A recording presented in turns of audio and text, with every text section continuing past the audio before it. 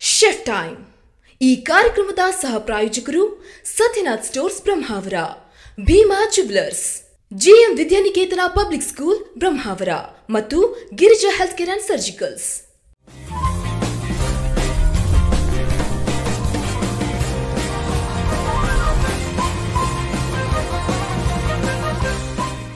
Hi hello very good afternoon ನಮಸ್ಕಾರ. ದೈಜುವಲ್ನ ಎಲ್ಲ ವೀಕ್ಷಕರಿಗೂ ಕರಾವಳಿ ಕರ್ನಾಟಕದ ಜನಮೆಚ್ಚಿದ ಅಡುಗೆ ಕಾರ್ಯಕ್ರಮ ಶೆಫ್ ಟೈಮ್ ಇದು ಪಾಕ ಪ್ರವೀಣರ ಲೋಕ. ಕಾರ್ಯಕ್ರಮಕ್ಕೆ ಆತ್ಮೀಯವಾದಂತಹ ಸ್ವಾಗತ, ಸುಸ್ವಾಗತ. ಸಂಡೇ ಆಯಿತು ಅಂದರೆ ಸಾಕು, ಗಂಟೆ ಒಂದೂವರೆ ಆಯಿತು ಅಂದರೆ ಸಾಕು. ನಾವು ನಿಮ್ಮ ಮುಂದೆ ಹಾಜರಾಗ್ತೀವಿ with something really special and interesting yes ವೀಕ್ಷಕರೇ, ಇವತ್ತಿನ ಕಾರ್ಯಕ್ರಮದಲ್ಲಿ ಒಂದು ಹೊಸ ರೆಸಿಪಿ ಹಾಗೆಯೇ ಸ್ಪೆಷಲ್ ಗೆಸ್ಟ್ನ ಜೊತೆಗೆ ನಾವು ನಿಮ್ಮ ಮುಂದೆ ಹಾಜರಾಗಿದ್ದೇವೆ. ಅದಕ್ಕೂ ಮುಂಚೆ ಪ್ರತಿಯೊಬ್ಬ ಮನುಷ್ಯರಿಗೂ ಕೂಡ ಆರೋಗ್ಯವೇ ಭಾಗ್ಯ ಅನ್ನುವಂಥ ಮಾತನ್ನು ತಾವು ಕೇಳಿರ್ತೀರ? ಸೊ ಎಲ್ಲರೂ ಕೂಡ ಆರೋಗ್ಯವಾಗಿರಬೇಕು ಅಂತ ಹೇಳಿದರೆ ಅವರ ಹೆಲ್ತ್ ಅಂದರೆ ನಾವು ತಿನ್ನುವಂಥ ಆಹಾರ ತುಂಬಾ ಚೆನ್ನಾಗಿರಬೇಕು. ಎಷ್ಟು ನಾವು ನ್ಯೂಟ್ರಿಷಿಯಸ್ ಫುಡ್ಡನ್ನು ಕನ್ಸ್ಯೂಮ್ ಮಾಡ್ತೀವೋ ಅಷ್ಟು ನಮ್ಮ ಆರೋಗ್ಯ ವೃದ್ಧಿ ಆಗುತ್ತೆ ಅಂತ ಹೇಳ್ತಾ ಇವತ್ತಿನ ಕಾರ್ಯಕ್ರಮವನ್ನು ಪ್ರಾರಂಭಿಸೋಣ. ಎಸ್ ವೀಕ್ಷಕರೇ ಇವತ್ತಿನ ನಮ್ಮ ಕಾರ್ಯಕ್ರಮದ ಅತಿಥಿ ಕೊಂಜಿ ಬಿಟ್ಟುವಿನ ಅನುಷಾ ಅವರು. ಬನ್ನಿ ಇವರನ್ನ ಕಾರ್ಯಕ್ರಮಕ್ಕೆ ಸ್ವಾಗತಿಸೋಣ. ಅನುಷಾ ಅವರೇ ಕಾರ್ಯಕ್ರಮಕ್ಕೆ ಆತ್ಮೀಯವಾದಂತಹ ಸ್ವಾಗತ. ಇವತ್ತೊಂದು ಪುಟ್ಟ ಪರಿಚಯ ನಮ್ಮ ವೀಕ್ಷಕರಿಗಾಗಿ. ಓಕೆ ನನ್ನ ಹೆಸರು ಅನುಷಾ. ನಾನು ಕುಂಜಿಬೆಟ್ಟುವಿಂದ ಬಂದಿದ್ದೇನೆ. ಉಡುಪಿಗೆ ಈಗ ಬಂದು ನಾನು ಟೂ ಇಯರ್ಸ್ ಆಯಿತು. ಸೊ ಲಾಸ್ಟ್ ಇಯರಿಂದ ನಾನು ಒಂದು ಸ್ವೀಟ್ ಇಟ್ಸ್ ಬೈ ಅನ್ನುವಂಥ ಹೋಮ್ ಬೇಕರ್ ಆಗಿ ಒಂದು ಬಿಸ್ನೆಸ್ಸನ್ನು ಸ್ಟಾರ್ಟ್ ಮಾಡಿದ್ದೇನೆ. ಸೊ ಈಗ ನಾನು ರೆಗ್ಯುಲರಾಗಿ ಆರ್ಡರ್ಸ್ ತಗೊಳ್ತಿದ್ದೇನೆ ಸೊ ಓಕೆ ಬೇಕರಾಗಿ ನೀವು ನಿಮ್ಮನ್ನ ಅಂತ ಹೇಳ್ಬೋದು. ಹೌದು. ಎಸ್ ಇವತ್ತು ನಮ್ಮ ವೀಕ್ಷಕರಿಗೋಸ್ಕರ ಯಾವ ರೆಸಿಪಿಯನ್ನ ಮಾಡಿದ್ರು ಇವತ್ತು ನಾನು ಒಂದು ಆರೆಂಜ್ ಫ್ಲೇವರ್ಡ್ ಕೇಕ್ ಅನ್ನು ತೋರಿಸ್ತಾ ಇದ್ದೀನಿ. ಇದು ಒಂದು ಟ್ರಾವೆಲ್ ಕೇಕ್ ಅಥವಾ ಟೀ ಟೈಮ್ ಕೇಕ್ ಟ್ರಾವೆಲ್ ಮಾಡುವಾಗ ಸಹ ನೀವು ಇದನ್ನ ಕ್ಯಾರಿ ಮಾಡ್ಕೊಂಡು ಹೋಗ್ಬೋದು. ಒಂದು ಟೂ ತ್ರೀ ಡೇಸ್ವರೆಗೂ ಎಂತ ಆಗೋದಿಲ್ಲ ಇದು. ಮತ್ತೆ ಟೀ ಟೈಮ್ಗೆ ಟೀ ಜೊತೆ ಕಾಫಿ ಜೊತೆ ಒಳ್ಳೆ ಕಾಂಬಿನೇಷನ್ ಆಗ್ತದೆ ಇದು ಸಂಜೆಗೆ ಸಂಜೆ ಹೊತ್ತಲ್ಲಿ. ಸ್ನ್ಯಾಕ್ಸ್ ಟೈಮ್ ಅಲ್ಲಿ ಆಗ್ತದೆ. ಹಾಗೆ ಹಾ ಓಕೆ ಕೇಕ್ ಅಂತ ಹೇಳಿದರೆ ಯಾರಿಗೆ ಇಷ್ಟ ಇಲ್ಲ ಹೇಳಿ ವೀಕ್ಷಕರೇ. ಸಣ್ಣ ಸಣ್ಣ ಮಕ್ಕಳಿಂದ ಹಿಡಿದು ಹಣ್ಣು ವೃದ್ಧರ ತನಕ ಎಲ್ಲರೂ ಕೂಡ ಇಷ್ಟಪಡ್ತಾರೆ. ಆಬ್ವಿಯಸ್ಲಿ ಎಲ್ರಿಗೂ ಕೂಡ ಇಷ್ಟ ಆಗ್ತದೆ ಅಂತ ಅನ್ಕೊಳ್ತೇನೆ. ಸೊ ಅಂಥ ಕೇಕನ್ನು ಇವತ್ತು ನಮ್ಮ ಅನುಷ್ ಅವರು ನಿಮಗೋಸ್ಕರ ಮಾಡಿ ತೋರಿಸ್ಲಿಕ್ಕಿದ್ದಾರೆ. ಬನ್ನಿ ಇದಕ್ಕೆ ಬೇಕಾದಂತಹ ಸಾಮಗ್ರಿಗಳನ್ನು ನೋಡ್ಕೊಂಡು ಬರೋಣ. ಓಕೆ ಇದಕ್ಕೆ ಬೇಕಾಗಿರೋ ಇಂಗ್ರೀಡಿಯೆಂಟ್ಸು ಫಸ್ಟ್ ಮೇನ್ ಬಂದಿರೋ orange next two eggs baking soda half teaspoon baking powder one teaspoon ಮತ್ತು maida one cup oil one fourth cup butter unsalted ತೊಗೊಂಡಿದ್ದೇನೆ. ಅದು ತ್ರೀ ಟೇಬಲ್ ಸ್ಪೂನ್ ಬೇಕಾಗ್ತದೆ. ಮತ್ತು ಶುಗರ್ ತ್ರೀ ಫೋರ್ತ್ ಕಪ್ ಬೇಕಾಗ್ತದೆ. Milk half cup ಬೇಕಾಗ್ತದೆ ನನಗೆ. Okay ಇದಿಷ್ಟು ಸಾಮಗ್ರಿಗಳನ್ನ ಬಳಸಿ ನೀವೀಗ ಕೇಕನ್ನು ಅನ್ನ ಮಾಡ್ತೀರಾ. ಸೊ ಮೊದಲನೇ ಪ್ರೊಸೀಜರ್ ಏನು ಅನುಷಾ ಮೇಡಮ್? ಓಕೆ ಇದೆಲ್ಲ ಮೆಜರ್ಮೆಂಟಿಗೋಸ್ಕರ ನನಗೆ ಮೆಜರಿಂಗ್ ಕಪ್ಸ್ ಬೇಕಾಗ್ತದೆ. ಓಕೆ ಸೊ ಈ ರೀತಿ ನಾನು ಮೆಜರಿಂಗ್ ಕಪ್ಸ್ನ ಯೂಸ್ ಮಾಡಿದ್ದೇನೆ. ಸೊ ನಾರ್ಮಲ್ ಕಪ್ಸಲ್ಲಿ ತಗೊಂಡ್ರೆ ಒಂದೊಂದು ಬೇರೆ ಬೇರೆ ಇದು ಇರುತ್ತೆ. ಅದರಲ್ಲಿ ಬೇ ಇದರಲ್ಲಿ ಕರೆಕ್ಟಾಗಿ ಒನ್ ಕಪ್ಪು ಟೂ ಕಪ್ಸ್ ಹೀಗೆ ಎಲ್ಲ ಬೇಕಿಂಗೋಸ್ಕರ ಅಂತ ಸಪ್ರೇಟಾಗಿ ಸಿಗ್ತದೆ. ಸೊ ನಾನು ಅದನ್ನೇ ಯೂಸ್ ಮಾಡಿದ್ದೇನೆ ಇಲ್ಲಿ. ಯೂಶ್ವಲಿ ನಾವು ಕೇಕ್ ಮಾಡುವಾಗ ಎಷ್ಟು ಪ್ರೊಪೋರ್ಷನ್ ಅಲ್ಲಿ ಹಾಕ್ತೇವೆ ಅದು ಮೇನ್ ಹೌದು, ಹೌದು, ಹೌದು, ಎಸ್ ಈಗ ಮೊದಲನೇ ಪ್ರೊಸೀಜರ್ ಏನು ತಗೊಳ್ತಾ ಇದ್ದೀರಾ? ಇದು ಇಲ್ಲೇ ನಾನು ಕುಕ್ಕರಲ್ಲಿ ಮಾಡ್ತಿರೋದ್ರಿಂದ ನಾನು ಫಸ್ಟ್ ಕುಕ್ಕರ್ ಪ್ರೀ ಹೀಟ್ ಮಾಡಲಿಕ್ಕೆ ಇಡ್ತೇನೆ. ಹಾ, ಸೊ ಅಲ್ಲಿವರೆಗೂ ನಾವು ನೆಕ್ಸ್ಟ್ ಪ್ರೊಸೀಜರ್ ಮಾಡುವವರೆಗೂ ಅದು ಪ್ರೀ ಹೀಟ್ ಆಗ್ತದೆ. ಸೊ ನೀವು ಓವನಲ್ಲಿ ಮಾಡ್ತಾ ಇದ್ರೆ ಒನ್ ಟೆನ್ ಮಿನಿಟ್ಸ್ ಮಾಡೋಕ್ಕಿಂತ ಮುಂಚೆಲಿ ಈಗ ಸ್ಟಾರ್ಟ್ ಮಾಡ್ತೀರಾ ಅಂತಂದರೆ one ten minutes preheat ಮಾಡಬೇಕಾಗ್ತದೆ ಒನ್ ಸೆವೆಂಟಿ ಡಿಗ್ರೀಸಿ ಟೆನ್ ಮಿನಿಟ್ಸ್ಗೆ ಇಟ್ಟು ಬೇಕ್ ಮೋಡಲ್ಲಿ ಇಡಬೇಕಾಗ್ತದೆ. ಇದು ಅಲ್ಯೂಮಿನಿಯಂ ಕುಕ್ಕರ್ ತೊಗೊಂಡಿದ್ದೇನೆ. ಸೊ ಇದು ವಾಷರ್ ತೆಗಿಬೇಕು ಮತ್ತು ವಿಸಿಲ್ ಸಹ ತೆಗಿಬೇಕು. ಇದ್ರ ಒಳಗಡೆ ಇದು ಸ್ಟ್ಯಾಂಡ್ ಇಟ್ಟಿದ್ದೇನೆ ನಾನು. ಸೊ ಇದ್ರ ಮೇಲೆ ಟಿನ್ ಇಡ್ಲಿಕ್ಕೆ ಸೊ ಡೈರೆಕ್ಟ್ ಕುಕ್ಕರ್ ಒಳಗಡೆ ಇಡ್ಲಿಕ್ಕಿಲ್ಲ. ಸೊ ಹೀಟ್ ಇದ್ರ ಥ್ರೂ ಪಾಸ್ ಆಗಿ ಇಲ್ಲೇ ಪಾಸ್ ಆಗ್ತದೆ. ಸೊ ಅಲ್ಲಿ ಹೇಗೆ ವರ್ಕ್ ಆಗ್ತದೆ? ಇಲ್ಲೂ ಸಹ ಹಾಗೆ ಆಗ್ತದೆ. ಸೊ ನಾವು ಈ ರೀತಿ ಸೆಟ್ ಮಾಡಬೇಕಾಗ್ತದೆ ಕುಕ್ಕರಲ್ಲಿ ಮಾಡುವಾಗ. ಸೊ ಇದು ಆರೆಂಜ್ ಫ್ಲೇವರ್ಡ್ ಆಗಿರೋದ್ರಿಂದ ನಾನು ಆರೆಂಜ್ ಫ್ರೆಶ್ ಆರೆಂಜ್ ತಗೊಂಡಿದ್ದೇನೆ. ಸೊ ಅದನ್ನ ನಾನು ಮೇಲೆ ಇದು ಪೀಲ್ ಮಾತ್ರ ಯೂಸ್ ಮಾಡೋದು. ಸೊ ಅದಕ್ಕೆ ಆರೆಂಜ್ ಜಸ್ಟ್ ಅಂತ ಹೇಳ್ತೇವೆ ನಾವು. ಸೊ ಅದು ಗ್ರೇಟ್ ಮಾಡ್ಕೊಳ್ತೇನೆ ಈಗ. ಓಕೆ ಸೊ ಇದು ಗ್ರೇಟ್ ಮಾಡುವಾಗ ಜಸ್ಟ್ ಆರೆಂಜ್ ಮೇಲ್ಗಡೆ, ಇದು ಆರೆಂಜ್ ಪಾರ್ಟ್ ಮಾತ್ರ ಗ್ರೇಟ್ ಮಾಡಬೇಕು. ಅದು ವೈಟ್ ಟಚ್ ಆಗಬಾರ್ದು. ಇಲ್ದಿದ್ರೆ ಕೇಕಲ್ಲಿ ಸ್ವಲ್ಪ ಬಿಟರ್ನೆಸ್ ಬರ್ತದೆ. ಸೊ ಇದು ಆರೆಂಜ್ ಬದಲಾಗಿ ನೀವು ಇದ್ರಲ್ಲಿ ವೇರಿಯೇಷನ್ ಸಹ ಮಾಡ್ಕೋಬಹುದು ಲೆಮನ್ ಯೂಸ್ ಮಾಡಬಹುದು ಇದರಲ್ಲಿ. ಯಾವ್ದಾದ್ರು ಫ್ರೂಟ್ ಹೌದು ಲೆಮನ್ ಫ್ಲೇವರ್ ಸೊ ನಾನೀಗ ಆರೆಂಜ್ ಮಾಡ್ತಾ ಇದ್ದೀನಿ. ಸೊ ನೀವು ಇದರಲ್ಲಿ ಬೇರೆ ಎಸೆನ್ಸ್ ಸಹ ಯೂಸ್ ಮಾಡಬಹುದು ಪೈನಾಪಲ್ ಹೀಗೆ ಎಲ್ಲ. ವೇರಿಯೇಷನ್ ಸುಮಾರು ಫ್ಲೇವರ್ ಫ್ರೂಟ್ ಫ್ಲೇವರ್ ಅಲ್ಲಿ ನೀವು ಚೇಂಜ್ ಮಾಡ್ಕೊಳ್ಬಹುದು ಆದ್ರೆ ನೀವು ಅಲ್ಲಿ ಎಸೆನ್ಸ್ ಮಾತ್ರ ಹಾಕ್ಲಿಕ್ಕೆ. ಇದು ಆರೆಂಜ್ ಮತ್ತೆ ಲೆಮನ್ ಮಾತ್ರ ಪೀಲ್ ಹಾಕೋಬಹುದು ನೀವು. ಸೊ ಈಗ ನಾನು ಇದನ್ನ ಗ್ರೇಟ್ ಮಾಡ್ಕೊಳ್ತಾ ಇದ್ದೇನೆ.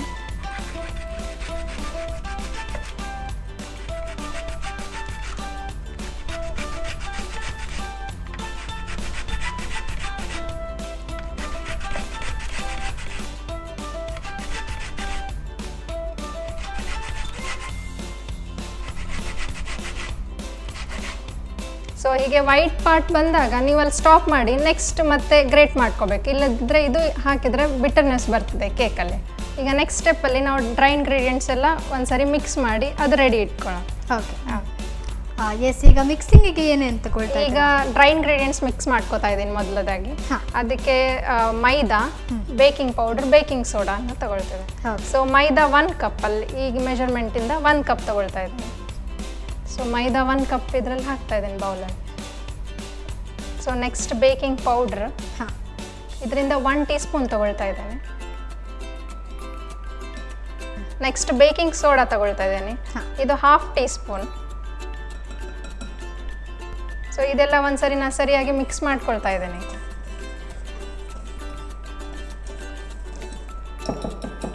ಸೊ ಈಗ ನಮ್ಮದು ಡ್ರೈ ಇಂಗ್ರೀಡಿಯೆಂಟ್ಸ್ ರೆಡಿ ಆಗಿದೆ. ಆರೆಂಜಸ್ ರೆಡಿ ಆಗಿದೆ. ಮತ್ತು ಈಗ ನೆಕ್ಸ್ಟ್ ನಾವು ವೆಟ್ ಇಂಗ್ರೀಡಿಯೆಂಟ್ಸ್ನ ಎಲ್ಲ ಮಿಕ್ಸ್ ಮಾಡ್ಕೊಳ್ಳೋಣ. ಎಸ್ ಈಗ ನೆಕ್ಸ್ಟ್ ಪ್ರೊಸೀಜರ್ ಓಕೆ ಈಗ ನೆಕ್ಸ್ಟ್ ಪ್ರೊಸೀಜರಲ್ಲಿ ಟೂ ಎಗ್ಸ್ ತೊಗೊಳ್ತಾ ಇದ್ದೀನಿ ನಾನು. ಹಾಂ. ವಿತ್ ಯೋಕ್ ಇದೆ ಇದು. ಓಕೆ ನೆಕ್ಸ್ಟ್ ಪೌಡರ್ ಶುಗರ್ ತೊಗೊಂಡಿದ್ದೇನೆ. ಸೊ ಎಗ್ ಜೊತೆಗೆ three fourth cup powder sugar ಹಾಕ್ತಾ ಇದ್ದೇನೆ.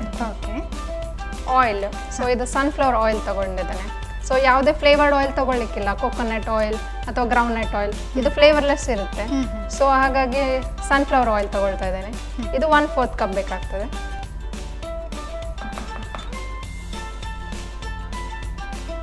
ಇದು ಎಲೆಕ್ಟ್ರಿಕಲ್ ಬೀಟರ್ ಯೂಸ್ ಮಾಡ್ತಾ ಇದ್ದೀನಿ ಈಗ.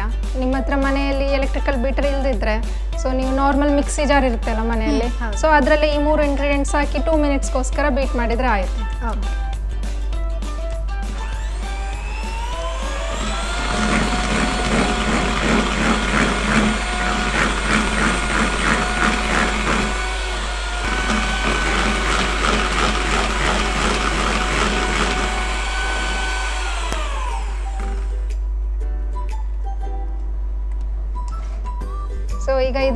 ಮಾಡಿದ್ದೇನೆ ನಾನು. ಈಗ ಇದರಲ್ಲಿ ನೋಡ್ಬೋದು ನೀವು ಬಬಲ್ಸ್ ಹಾಗೆ ಆಗಿದೆ. ಸೊ ಈ ಥರ ಮಾಡೋದ್ರಿಂದ ಕೇಕ್ ಸ್ವಲ್ಪ ಸಾಫ್ಟ್ ಏರಿಯಾಗೆ ಆಗ್ತದೆ.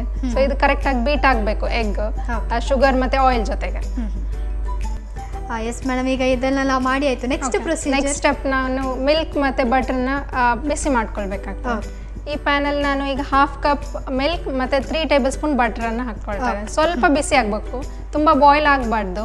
ಸೊ ಸ್ವಲ್ಪ ಈಗ ಬಿಸಿ ಆಗ್ತದೆ ಅನ್ನುವಾಗ ಆಫ್ ಮಾಡಬೇಕು. ಓಕೆ ಓಕೆ ಈಗ ಈ ಪಾತ್ರೆಗೆ ನಾನು ಹಾಫ್ ಕಪ್ ಮಿಲ್ಕ್ ಹಾಕ್ತಾ ಇದ್ದೇನೆ. Okay three tablespoon butter ಹಾಕ್ತಾ ಇದ್ದೇನೆ ಆ ಮಿಲ್ಕಿಗೆ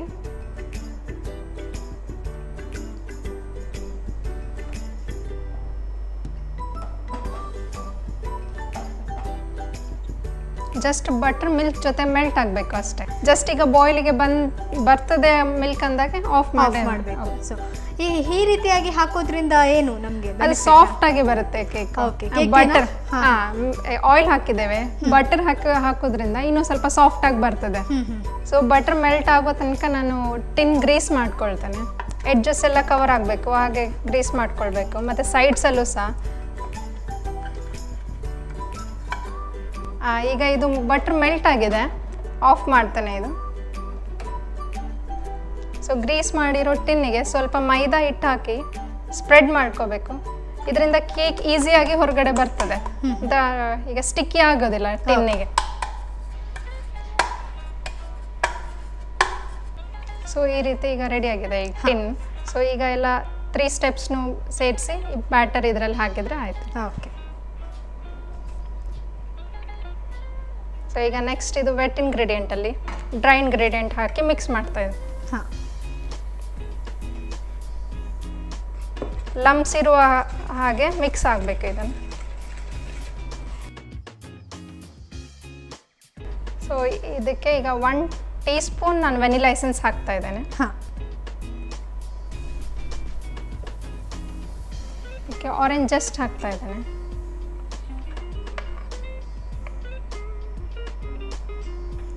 ಸೊ ಇದು one and half teaspoon ಇದೆ. ಸೊ ಜಾಸ್ತಿ ಆದರೂ ತೊಂದರೆ ಇಲ್ಲ ಒಳ್ಳೆ ಫ್ಲೇವರ್ ಬರ್ತದೆ ಇದು.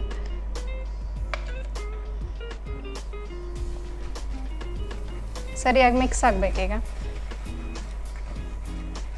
ಸೊ ಆರೆಂಜ್ ಪೀಲ್ ಅದ್ರದ್ದು ಕಲರ್ ಬಿಟ್ಕೊಂಡು ಈಗ ಎಲ್ಲೋ ಇಷ್ಟ ಆಗ್ತದೆ ಇದು ಒಳ್ಳೆ ಕಲರ್ ಬರ್ತದೆ ಕಲರ್ ಹಾಕಬೇಕಂತ ಇಲ್ಲ. ಹಾಂ ಹಾಂ. ಫ್ಲೇವರಿಗೂ ಆಗ್ತದೆ ಕಲರಿಗೂ ಆಗ್ತದೆ. ಹಾಂ. ಇದು ಮಿಲ್ಕ್ ಮತ್ತು ಬಟರ್ ಮಿಕ್ಸ್ಚರ್ ಇದರಲ್ಲಿ ಆ್ಯಡ್ ಮಾಡ್ತಾ ಇದ್ದೀವಿ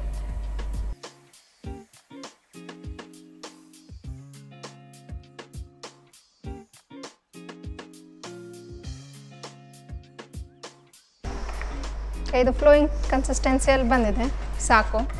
ಸೊ ಇನ್ನೊಂದು ಟೂ ಟೇಬಲ್ ಸ್ಪೂನ್ ಅಷ್ಟು ಹಾಲು ಉಳಿದಿದೆ ಈಗ ಸಾಕು. ಈಗ ಇಷ್ಟು ರನ್ನಿ ಮಿಕ್ಸ್ಚರ್ ಆದರೆ ಸಾಕಾಗ್ತದೆ ನಾನು ಹಾಫ್ ಕಪ್ ಮಿಲ್ಕ್ ತಗೊಂಡಿದ್ದೆ. ಹಾಂ.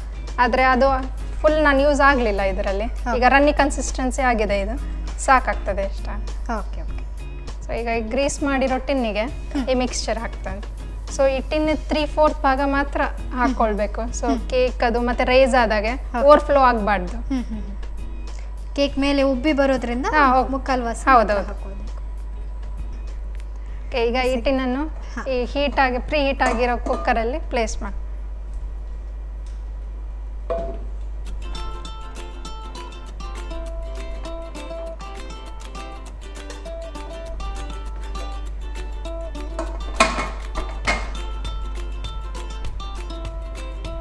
ಫಸ್ಟ್ ಫೈವ್ ಮಿನಿಟ್ಸ್ ಒಂದು ಮೀಡಿಯಂ ಫ್ಲೇಮಲ್ಲಿ ಇಡ್ತಾನೆ. ಓಕೆ ಇದು ಒಟ್ಟು ಎಷ್ಟು ಹೊತ್ತು ಬೇಕಾಗಬೇಕು? ಆ, ಈಗ ಕುಕ್ಕರಲ್ಲಿ ಅದು ಫಾರ್ಟಿ ಮಿನಿಟ್ಸ್ ಆದ್ರೂ ಬೇಕಾಗ್ತದೆ. ವೀಕ್ಷಕರೇ ಈಗ ಕೇಕ್ ಬೇಕಾಗ್ಲಿಕ್ಕೆ ಫಾರ್ಟಿ ಮಿನಿಟ್ಸ್ ಟೈಮ್ ಅನ್ನ ತಗೊಳ್ತದೆ. ಹೇಗೆ ನಾವು ಮನೆಯಲ್ಲಿ ಅನ್ನವನ್ನ ಬೇಯಲಿಕ್ಕೆ ಇಟ್ಟು ಅದರ ಜೊತೆಗೆ ಪಲ್ಯನೋ ಸಾರೋ ಸೈಡ್ ಸೈಡಲ್ಲಿ ಮಾಡ್ಕೊಳ್ತೀವೋ ಅನ್ನ ಬೇಯೋ ತನಕ? ಅದೇ ರೀತಿ ಇವತ್ತು ನಾವಿಲ್ಲಿ ಕೇಕ್ ಬೇಯೋ ತನಕ ನಮ್ಮ ಸೆಕೆಂಡ್ ಡಿಶನ್ನು ರೆಡಿ ಮಾಡ್ಕೊಳ್ಳೋಣ. ಸೊ ಸೆಕೆಂಡ್ ಡಿಶನ್ನು ಏನು ಮಾಡ್ತಾ ಇದ್ದೀರಾ ಇದು ಮೆಂತೆ ಕಡುಬು ಮಾಡ್ತಾ ಇದ್ದೇನೆ. ಮೆಂತೆ ಕಡುಬು. ಓಕೆ ಮೆಂತೆ ಕಡುಬು ಮಾಡ್ಲಿಕ್ಕೆ ಬೇಕಾದಂಥ ಸಾಮಗ್ರಿಗಳನ್ನ ವೀಕ್ಷಕರಿಗೆ ತಿಳಿಸ್ಕೊಡಿ. ಇದು ಮೆಂತೆ ಕಡುಬು ಮಾಡಲಿಕ್ಕೆ ಫಸ್ಟ್ ಮೆಂತೆ ಸೊಪ್ಪು ಬೇಕು ಮತ್ತು ಗೋಧಿ ಹಿಟ್ಟು ಟೊಮ್ಯಾಟೊ ಉಪ್ಪು ಅರಿಶಿನ ಪುಡಿ ಗಾರ್ಲಿಕ್ಕು ಚಿಲ್ಲಿ ಪೌಡರ್ ಮತ್ತು ಆಯಿಲ್ ಆಯಿಲ್ ಸೊ ಇದಿಷ್ಟನ್ನು ಬಳಸಿ ನಾವೀಗ ಮೆಂತೆ. ಮಾಡ್ತಾ ಇದ್ದೇವೆ.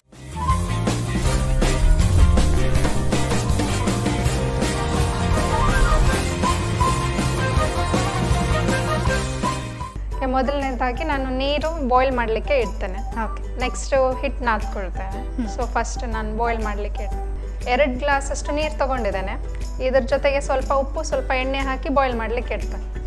ಓಕೆ ಒಂದು ಹಾಫ್ ಸ್ಪೂನ್ ಅಷ್ಟು ನಾನು ಆಯಿಲ್ ಹಾಕ್ತಾ ಇದ್ದೇನೆ ಇದಕ್ಕೆ.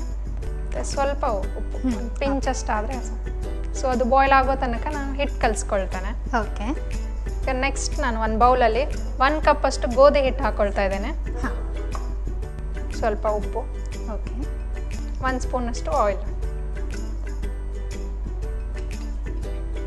ಇದು ಸರಿಯಾಗಿ ಕಲಿಸ್ಕೊಳ್ಬೇಕು. ಮೊದಲು ಉಪ್ಪು ಮತ್ತು ಆಯಿಲು ಹಿಟ್ಟು ಒಳ್ಳೆ ಮಿಕ್ಸ್ ಆಗಬೇಕು ಒಳ್ಳೆ ಮಿಕ್ಸ್ ಆಗಬೇಕು.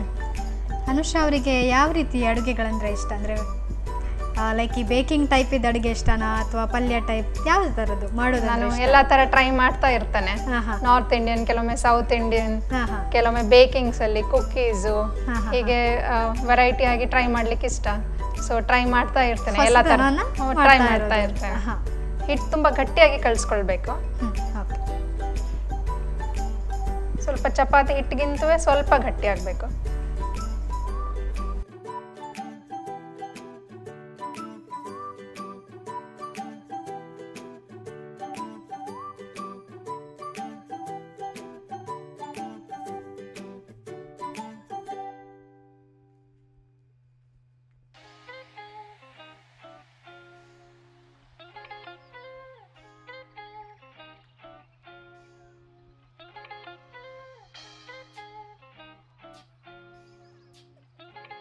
ಈಗ ಇದು ಗಟ್ಟಿಯಾಗಿ ಕಲಿಸ್ಕೊಂಡಿದ್ದೇನೆ. ಈಗ ಚಪಾತಿಯಾಗಿ ರೋಲ್ ಮಾಡಿ ಕಟ್ ಮಾಡಿ ನೀರಲ್ಲಿ ಹಾಕ್ತಾನೆ. ಓಕೆ. ಈಗ ಈ ಹಿಟ್ಟನ್ನು ಚಪಾತಿ ಹಾಗೆ ಲಟ್ಸ್ಕೊಂಡು ಕಟ್ ಮಾಡಬೇಕು. ಈಗ ಇದಕ್ಕೆ ಸ್ವಲ್ಪ ದೊಡ್ಡ ದುಂಡೆ ತಗೊಳ್ತಾ ಇದ್ದೇನೆ ನಾನು.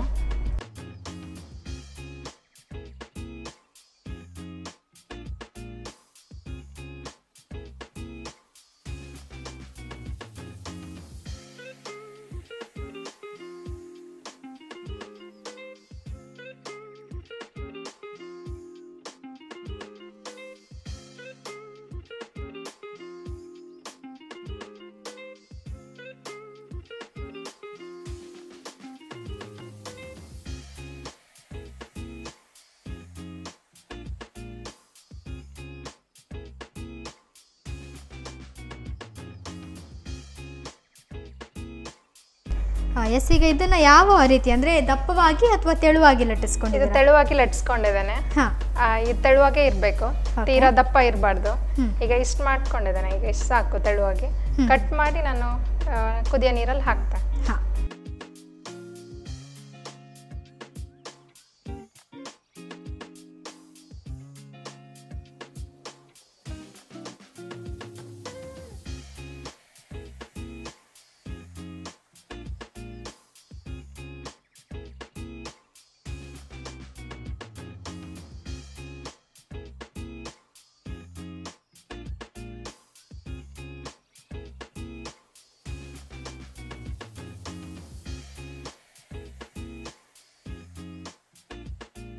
ಸೊ ಈಗ ಇದು ಕಟ್ ಮಾಡ್ಕೊಂಡಿರೋ ಕುದಿಯ ನೀರಲ್ಲಿ ಹಾಕಿ. ಹಾ.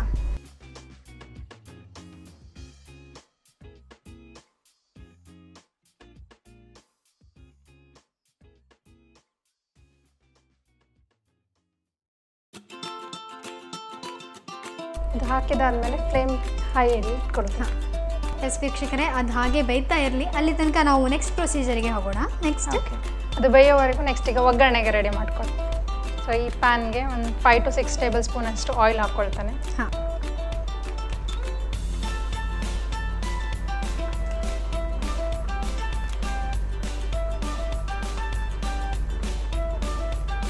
ಆಯಿಲ್ ಬಿಸಿ ಆಗಿದೆ ಇದಕ್ಕೆ ನಾನು ಗಾರ್ಲಿಕ್ ಹಾಕ್ಕೊಳ್ತೇನೆ. ಇದು ಒಂದು four to five garlic cloves ತೊಗೊಂಡಿದ್ದೇನೆ. ಸ್ವಲ್ಪ ಫ್ರೈ ಆಗಬೇಕು ಇದು ಗಾರ್ಲಿಕ್ಗೆ ಸೊ ಈಗ ಸ್ವಲ್ಪ ಗೋಲ್ಡನ್ ಬ್ರೌನ್ ಆಗಿದೆ. ಇದಕ್ಕೆ ಸ್ವಲ್ಪ ಅರಿಶಿನ ಪುಡಿ ಹಾಕ್ಕೊಳ್ತಾನೆ. ಕಾಲು ಟೀ ಸ್ಪೂನ್ ಅಷ್ಟು. ಮತ್ತೆ ಖಾರಕ್ಕೆ ಜಾಸ್ತಿ ಖಾರ ಬೇಕಿದ್ರೆ ಜಾಸ್ತಿ ಸ್ವಲ್ಪ ಇದೆ. ನಾನೀಗ ಇಲ್ಲಿ ಒನ್ ಆ್ಯಂಡ್ ಹಾಫ್ ಸ್ಪೂನ್ ಹಾಕ್ಕೊಳ್ತೇವೆ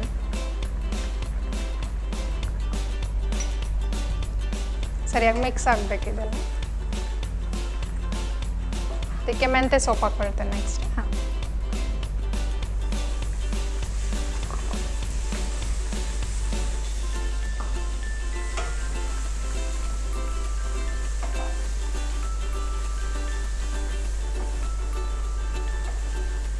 ಈ ಸೊಪ್ಪಿಗೆ ಸ್ವಲ್ಪ ಉಪ್ಪು ಹಾಕ್ತೇನೆ.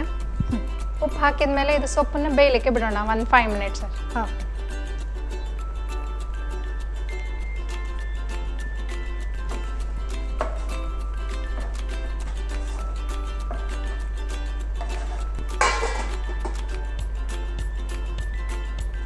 ಈಗ ಗೋಧಿ ಹಿಟ್ಟನ್ನು ನಾವು ಕಟ್ ಮಾಡಿ ಇದು ಬಿಸಿನೀರಲ್ಲಿ ಹಾಕಿದ್ವಲ್ಲ ಈಗ ನೋಡೋಣ ಇದು ಬೆಂದಿದೆಯಾ ಅಂತ.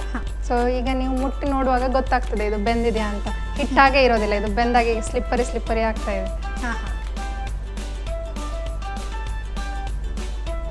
ಈಗ ಕಟ್ ಮಾಡಿ ನೋಡುವಾಗ ನಿಮ್ಗೆ ಗೊತ್ತಾಗ್ತದೆ ಬೆಂದಿದೆಯಾ ಅಂತ.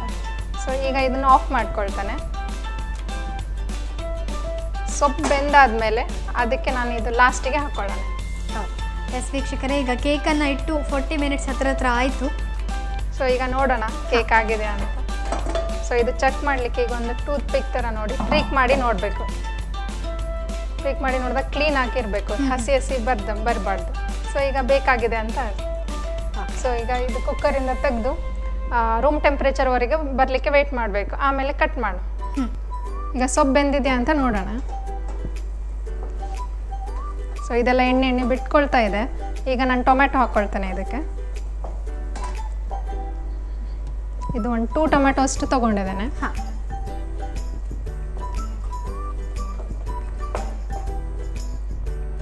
ಲೋ ಫ್ಲೇಮಲ್ಲಿ ಇಟ್ಟಿದ್ದೇನೆ. ಅಲ್ಲಿವರೆಗೂ ಟೊಮೆಟೊ ಬೇಯುತ್ತೆ.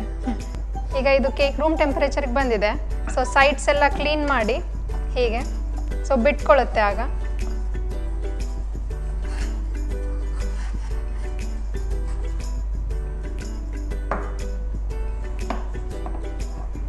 ಹೀಗೆ ಹಾಕಿ ಟ್ಯಾಪ್ ಮಾಡಿದರೆ ಆಯ್ತು. ಸೊ ಸರಿಯಾಗಿ ಬೇಕಾಗಿ ಬಂದಿದೆ ಇದು. ಸೊ ಈಗ ಡಿಮೋಲ್ಡ್ ಆಗಿದೆ. ಈಗ ಕಟ್ ಮಾಡಿ ನೋಡುವ ಕೇಕ್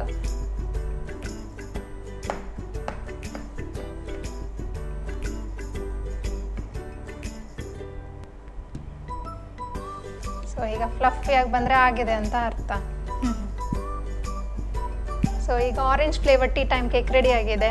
ಸೊ ಇದು ಟೀ ಕಾಫಿ ಒಟ್ಟಿಗೆ ಒಳ್ಳೆ ಕಾಂಬಿನೇಷನ್ ಆಗ್ತದೆ. ಇದಲ್ಲದೆ ನೀವು ಟ್ರಾವೆಲ್ ಮಾಡುವಾಗ ಈ ಥರ ಕೇಕ್ ಮಾಡಿ ಕ್ಯಾರಿ ಮಾಡ್ಬೋದು. ಟೂ ತ್ರೀ ಡೇಸ್ ಒಳಗೂ ಹಾಳಾಗೋದಿಲ್ಲ. ಸೊ ಟೇಸ್ಟ್ ಮಾಡಿ.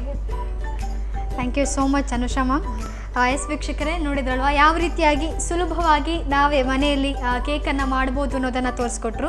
ತುಂಬಾ ಸಿಂಪಲ್ ಆಗಿತ್ತು. ಹಾಗೆಯೇ ತುಂಬ ಚೆನ್ನಾಗಿ ಬಂದಿದೆ. ಸೊ ಈಗ ಇದನ್ನು ಟೇಸ್ಟ್ ಮಾಡೋಣ.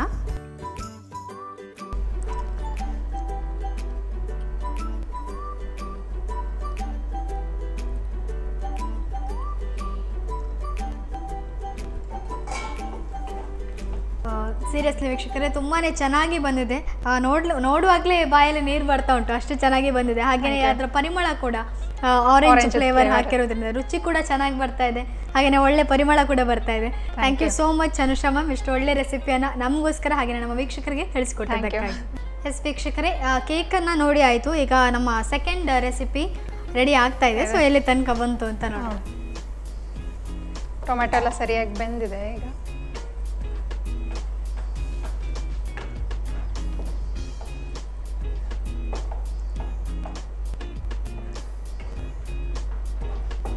ನೀರೆಲ್ಲ ಬಿಟ್ಕೊಂಡಿದೆ ಟೊಮೆಟೊ ಈಗ. ಹಾಂ. ಇನ್ನೊಂದು ಟೂ ಮಿನಿಟ್ಸ್ ಆದಮೇಲೆ ಇದನ್ನು ಹಾಕುವ ಓಕೆ. ಮೆಂತ್ಯ ಸೊಪ್ಪು ನಮ್ಮ ಆರೋಗ್ಯಕ್ಕೆ ತುಂಬಾ ಒಳ್ಳೆಯದು ಹಾಗಾಗಿ ಅದನ್ನು ಜಾಸ್ತಿ ನಾವು ನಮ್ಮ ಡೈಲಿ ಫುಡ್ಡಲ್ಲಿ ಕನ್ಸ್ಯೂಮ್ ಮಾಡೋದನ್ನು ದೇಹಕ್ಕೆ ಒಳ್ಳೆಯದು ಹೌದು. ಅದು ಹಾಗೆ ಮೆಂತ್ಯ ಸೊಪ್ಪಲ್ಲಿ ವಿಟಮಿನ್ಸ್ ಮತ್ತು ಮಿನರಲ್ಸ್ ಇರುತ್ತೆ. ಹಾ. ಇದು ಹೈ ಪ್ರೋಟೀನ್ ಗೋಧಿ. ಸೊ ಅದ್ರ ಜೊತೆ ಎರಡು ಒಟ್ಟಿಗೆ ಹೋದರೆ ಅದು ತುಂಬ ನ್ಯೂಟ್ರಿಷಿಯಸ್ ಫುಡ್ ಆಗಿರುತ್ತೆ. ಸೊ ಬ್ರೇಕ್ಫಾಸ್ಟಲ್ಲಿ ಸಂಜೆ ಸ್ನ್ಯಾಕ್ಸಲ್ಲಿ ಇದನ್ನು ನಾವು ಸೇವಿಸ್ಬೋದು. ಈಗ ಸೊಪ್ಪು ಮತ್ತು ಟೊಮ್ಯಾಟೊ ಸರಿಯಾಗಿ ಬೆಂದಿದೆ. ಇದಕ್ಕೆ ನಾವು ಬಾಯ್ಲ್ ಮಾಡಿ ಇಟ್ಕೊಂಡಿರುವಂಥ ಇದು ಪೀಸಸ್ನ ಅದಕ್ಕೆ ಆ್ಯಡ್ ಮಾಡ. ಇದು ನೀರು ಆವಿಯಾಗಿ ಹೋಗಿದೆ. ಇದ್ರೆ ಈಗ ಸ್ಟ್ರೈ ಹೀಗೆ ಸ್ಟ್ರೈನ್ ಮಾಡಿ ಹಾಕೋದು. ಈಗ ಇದ್ರಲ್ಲಿ ನಾನು ಹಾಕಿದ್ದು ಅದು ಕರೆಕ್ಟ್ ಆಗಿದೆ. ಸೊ ಈಗ ಇದ್ರಲ್ಲಿ ನೀರು ಉಳ್ದಿಲ್ಲ.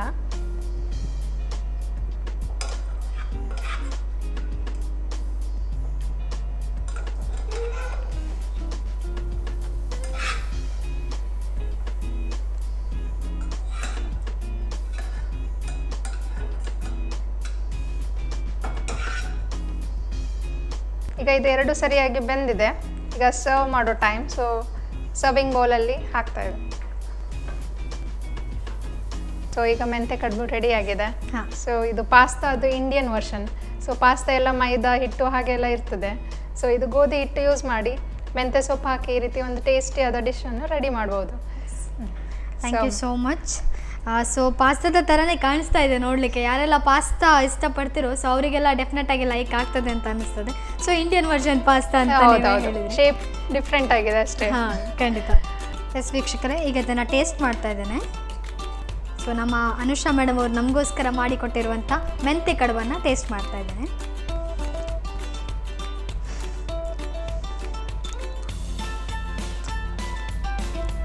ಇದರ ಅರೋಮಾ ಲೈಕ್ ಸ್ಮೆಲ್ ಎಷ್ಟು ಚೆನ್ನಾಗಿ ಬರ್ತಾ ಇತ್ತು ಟೇಸ್ಟ್ ಕೂಡ ಅಷ್ಟೇ ಚೆನ್ನಾಗಿದೆ. ಥ್ಯಾಂಕ್ ಯು ಲೈಕ್ ನಾವು ಈಗ ಚಪಾತಿಗೆ ಬೇರೆ ಸೊಪ್ಪುಗಳನ್ನು ಸೊಪ್ಪು ಪಲ್ಯ ಹಾಕ್ಕೊಂಡು ತಿನ್ನೋದ್ರಿಂದ ಲೈಕ್ ಅದು ಒಂದು ಟೇಸ್ಟ್ ಬೇರೆ ಕೊಟ್ಟರೆ ಈ ಇದು ಟೇಸ್ಟ್ ಇನ್ನೂ ಚೆನ್ನಾಗಿದೆ. ಸೊ ಯಾವುದೇ ಲೈಕ್ ನಾವು ಹೋಟೆಲ್ಸ್ಗಳಲ್ಲಿ ತಿನ್ನುವಂಥ ರೆಸಿಪಿ ಥರನೇ ಇದೆ. ತುಂಬ ಚೆನ್ನಾಗಾಗಿದೆ. Thank you so much ma'am ಇಷ್ಟು ಒಳ್ಳೆ ಡಿಶನ್ನು ನಮಗೋಸ್ಕರ ಹಾಗೆಯೇ ವೀಕ್ಷಕರಿಗೋಸ್ಕರ ತಿಳಿಸ್ಕೊಟ್ಟದ್ದಕ್ಕಾಗಿ ಧನ್ಯವಾದಗಳು. ಅನುಷಾ ಮೇಡಮ್ ಇವತ್ತು ನಮ್ಮ ಕಾರ್ಯಕ್ರಮಕ್ಕೆ ಬಂದು ಎರಡು ಅದ್ಭುತವಾದಂತಹ ಡಿಶನ್ನು ನಮ್ಮ ವೀಕ್ಷಕರಿಗೆ ತಿಳಿಸ್ಕೊಟ್ರಿ. ಸೊ ನಿಮ್ಮ ಎಕ್ಸ್ಪೀರಿಯನ್ಸ್ ಹೇಗಿತ್ತು? ಇಲ್ಲಿ ಬಂದು? Thank you so much for the opportunity thank you so much Sushma ಅವರೇ. ಹಾ. Thank you for the Daijiworld ಇದೊಂದು ಒಳ್ಳೆ ಅಪರ್ಚುನಿಟಿ ನನಗೆ ಕೊಟ್ಟಿದ್ದಕ್ಕೆ. ಇದು ನನ್ನ ಫಸ್ಟ್ ಎಕ್ಸ್ಪೀರಿಯನ್ಸ್ ಹೀಗೆ ಕ್ಯಾಮ್ರಾ ಎಲ್ಲ ಫೇಸ್ ಮಾಡೋದು. ಒಂದು ಒಳ್ಳೆ ಅನುಭವ ಆಗಿದೆ ನನಗೆ. ಸೊ ಇದೆರಡು ರೆಸಿಪೀಸ್ ನಿಮಗೆ ತೋರಿಸಿದ್ದೇನೆ. ನೀವೆಲ್ಲ ಖಂಡಿತ ಟ್ರೈ ಮಾಡ್ತೀರಾ ಅಂತ ಅಂದ್ಕೊಂಡಿದ್ದೇನೆ thank you so much yes ಎಷ್ಟು ಒಳ್ಳೆಯ ರೆಸ್ ಡಿಶನ್ನು ನಮಗೋಸ್ಕರ ತಿಳಿಸ್ಕೊಟ್ಟದಕ್ಕಾಗಿ ತಮಗೂ ಕೂಡ ಧನ್ಯವಾದಗಳು. ಹಾಗೆಯೇ ತಮ್ಮ ಬಿಸ್ನೆಸ್ ಕೂಡ ಇನ್ನೂ ಉತ್ತಮ ರೀತಿಯಲ್ಲಿ ಆಗಲಿ ಅಂತ ನಾವು ಕೂಡ ಆಶಿಸ್ತೇವೆ. ಕಾರ್ಯಕ್ರಮಕ್ಕೆ ಬಂದದಕ್ಕಾಗಿ ಧನ್ಯವಾದಗಳು. Thank you so much for the opportunity ನೋಡಿದ್ರಲ್ವಾ ವೀಕ್ಷಕರೇ ಇವತ್ತು ಅನುಷಾ ಮೇಡಮ್ ಇಲ್ಲಿ ಕಾರ್ಯಕ್ರಮಕ್ಕೆ ಬಂದು ನಮಗೋಸ್ಕರ ಆರೆಂಜ್ ಫ್ಲೇವರ್ಡ್ ಕೇಕ್ ಹಾಗೆಯೇ ಮೆಂತ್ಯ ಸೊಪ್ಪಿನ ಕಡುಬನ್ನು ಮಾಡಿ ತೋರಿಸಿದ್ದಾರೆ. ಐ ಹೋಪ್ ನಿಮಗೆಲ್ಲರಿಗೂ ಕೂಡ ಇದು ಇಷ್ಟ ಆಗಿದೆ. ಹಾಗೆಯೇ ನೀವು ಕೂಡ ಇದನ್ನು ಮನೆಯಲ್ಲಿ ಟ್ರೈ ಮಾಡ್ತೀರಾ ಅಂತ ಅಂದ್ಕೊಂಡಿದ್ದೇನೆ ಇದೇ ಈ ಹೊತ್ತಿನ ಕಾರ್ಯಕ್ರಮ ಶೆಫ್ ಟೈಮ್ ಇದು ಪಾಕಪ್ರವೀಣರ ಲೋಕ. ನಿರಂತರ ಸುದ್ದಿ ಹಾಗೂ ಮನೋರಂಜನೆಗಾಗಿ ನೋಡ್ತಾ ಇರಿ. Daijiworld twenty four into seven.